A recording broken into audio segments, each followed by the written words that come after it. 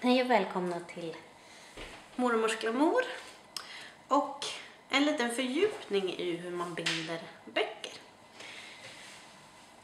Det har kommit önskemål om en utförligare beskrivning än den som finns i Expressens bilaga Handarbete och pyssel. Där visar hur man binder anteckningsböcker. Där har ni hela bildbeskrivningen på hur man gör alla steg innan själva bindningstekniken. Eh, så då har ni mer detaljer om hur man går tillväga för att göra det här.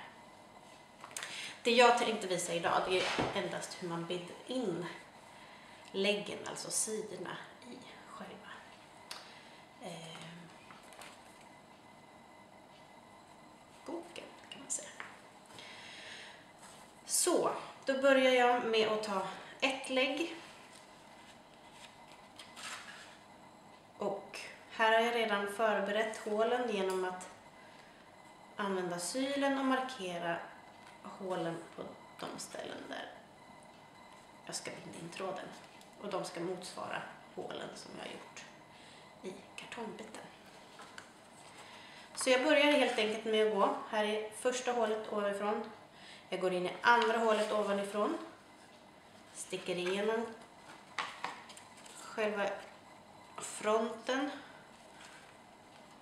på anteckningsboken. Det kan vara lite klurigt sådär.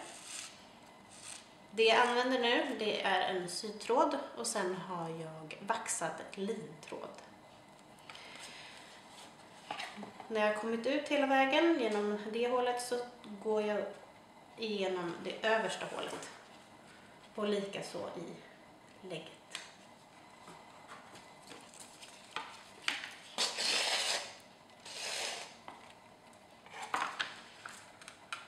Och sen binder jag en knut här, eller gör jag en knut.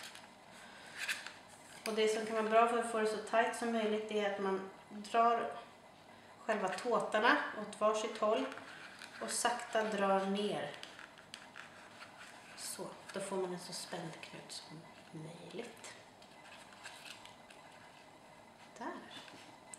Då fortsätter vi helt enkelt genom att trä nålen genom det tredje hålet ovanifrån. Och likadant börjar då här är det första hålet och trär igenom. Ni ser ju. Så, och så igenom. Och ut på baksidan.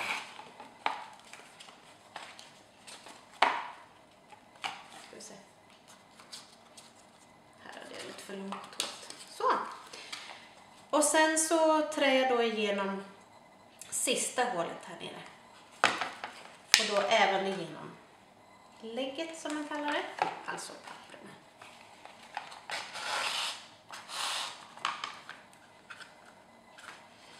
För att gå vidare, nu har jag bundit in första lägget. Nu ska jag fortsätta med nästa lägg. Då trär jag igenom nålen genom det tredje hålet ovanifrån och ut. Alltså jag trär inte igenom, genom eh, ytterhöljet typ.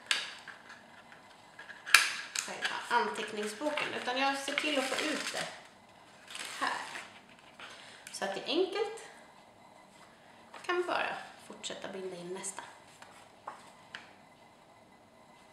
Och då trär jag då, nu ser ni en, två, tredje hålet är jag på. Då måste jag göra det på tredje hålet på lägget också.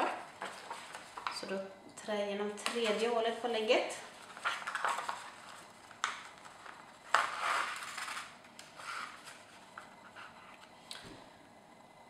Och sen fortsätter vi då.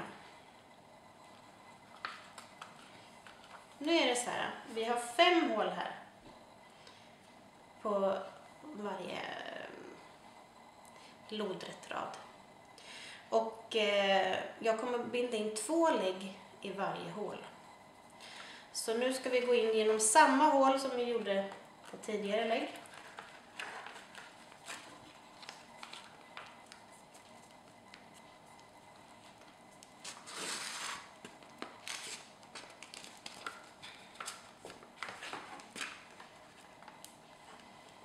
Så alltså jag går igenom samma hål som tidigare.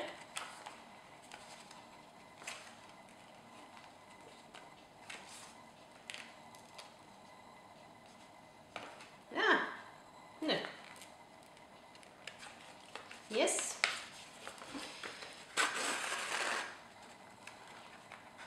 Förflyttar vi oss uppåt till andra hålet uppifrån och sen igenom här.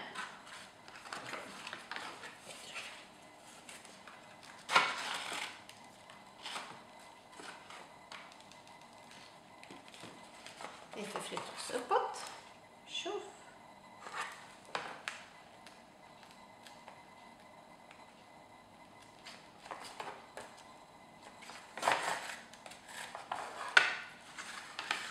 Så, nu har vi sytt i våra första två lägg. Och när jag sa som tidigare att jag skulle sy in två lägg i varje som rad med hål. Eftersom vi har tio lägg som vi ska sy in.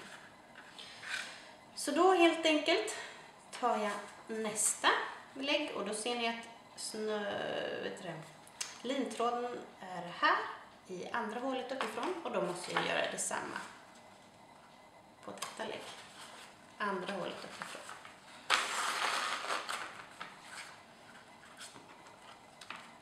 Men det som skiljer från förra gången det, det är nu att nu har vi bundit in våra två lägg. Så då går vi vidare till att faktiskt binda in nästa hål rad. Jag hoppas ni förstår alla mina förklaringar. Men jag hoppas att ni ser i alla fall hur jag gör. Så, då är vi på baksidan här och vi är som sagt inne i nästa hålrad. Då fortsätter vi. In genom pärm och in genom lägg. Där.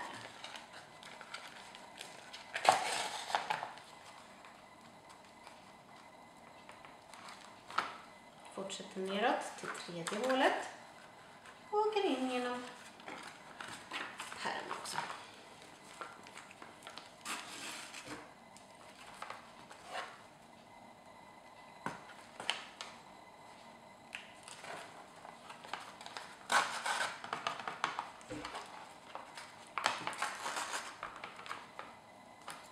Så här fortsätter vi. Tills vi har bundit in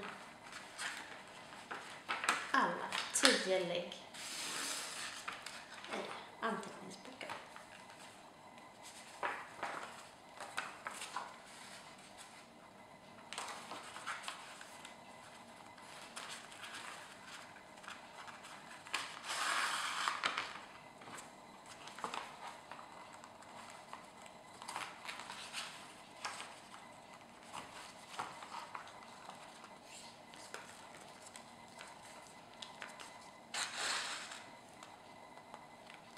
Och som sagt, ni ser ju, det börjar ju sätta sig här.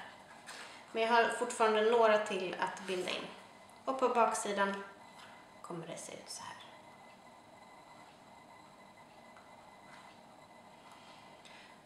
Sen när ni har bundit in alla så är det bara att ni gör en eh, knut och klipper av lintrådarna.